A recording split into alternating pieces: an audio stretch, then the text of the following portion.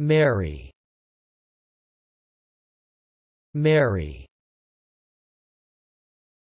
Mary.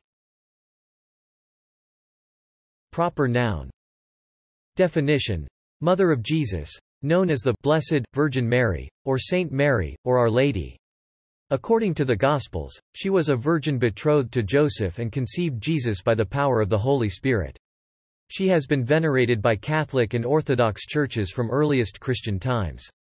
Feast days, January 1, Roman Catholic Church, March 25, Annunciation, August 15, Assumption, September 8, Nativity, December 8, Immaculate Conception. Thanks for watching this video. Be sure to subscribe to our channel to get more free learning resources.